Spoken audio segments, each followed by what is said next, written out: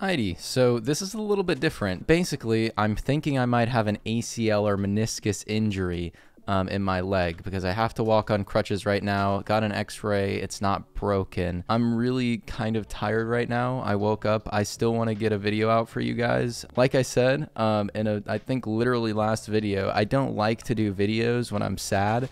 Um, I'm not necessarily like super sad. Um, I'm just, you know, I'm a little tired, but I'm still gonna make this, and I, yeah, okay. so because I told you guys on my community tab what actually happened, I'm just gonna like put that on the screen right now. Um, kind of what happened, and I'll just explain it a little bit better also now. But anyway, basically what happened, um, for like a more in-depth story. Um, of how I hurt my leg and might have a meniscus tear or whatever, I have to go to the orthopedic and get like a MRI scan, which is the thing where you like go through the conveyor belt and they, you know, basically like scan your body to see like, you know, what's going on with it a little bit more in depth than like an x-ray. So basically, yeah, I was playing kickball with some friends from church.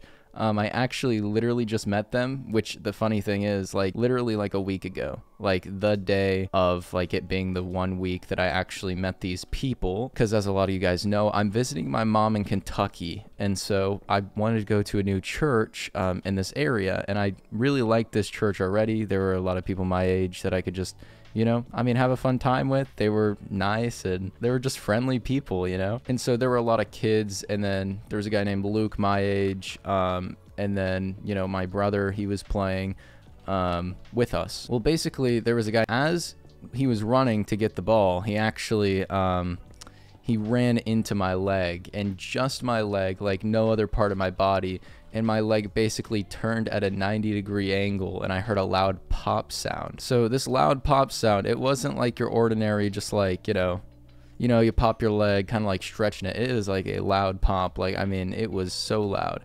And then immediately after, I like kind of, you know when you get hurt and you kind of cringe a little bit, so then like you kind of reflex back the way your leg would normally be. Well, I did that super fast and I heard another pop. So I don't know if it popped back into place for really what happened with that, but my leg isn't like all wonky. It's just, it's been super swollen. I actually have it sitting on my armrest right now so I can keep it elevated because that's like one of the things you're supposed to do. And I really do appreciate all your kind comments because it really does mean a lot.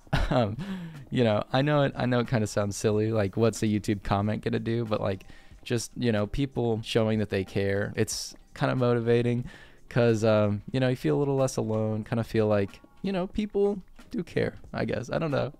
it sounds so silly, but um you you know. Well, anyway, end of the day, yeah, I got my x-ray. Um I actually had somebody from my church, they offered to take me to the um urgent care which was really interesting because they were actually an ICU nurse. It was a 24 year old guy. Um, he just had graduated out of college and had just been working um, as a nurse for like literally like a year. So it was really crazy how that worked. Long story short, after the whole thing was said and done, I literally um, was driving home with my leg that wasn't injured because it was my left leg that got injured, and I saw rainbow. So made me feel better. I know it's kind of silly. It's just the little things sometimes that can just make you feel all better. And because this game is like kind of like me telling a story and a little bit less focused on gameplay, I'm literally going to um, I'm going to include this game no matter what, so I might just play absolutely horribly. I've never played with an injured leg before. I've never actually worn crutches, or I guess you don't wear them, but those are going to be my excuses to get out of the way right now. Also, we're going to have a Sharp 2 iron this game, which is, you know, not going to be the best. So yeah, sorry if this is a little bit, um, I don't know, too serious. Like I normally don't do too serious videos. Um, I kind of like to be silly, but you know, a serious situation does require a little bit of seriousness sometimes, and I think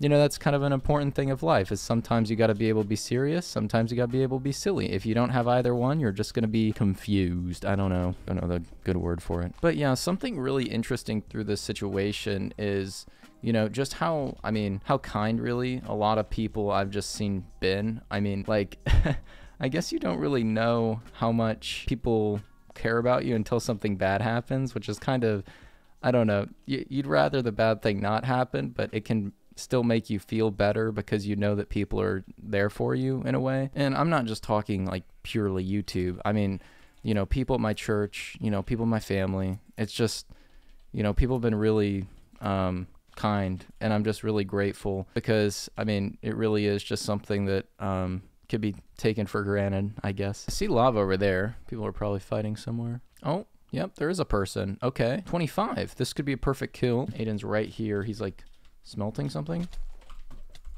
Okay, he's at 20, so maybe we kill him. I don't know if he has a head. He might. Oh, he has gaps. I think I'm dead then if I don't drop him, so I just have to go in. Okay. Oh, I died.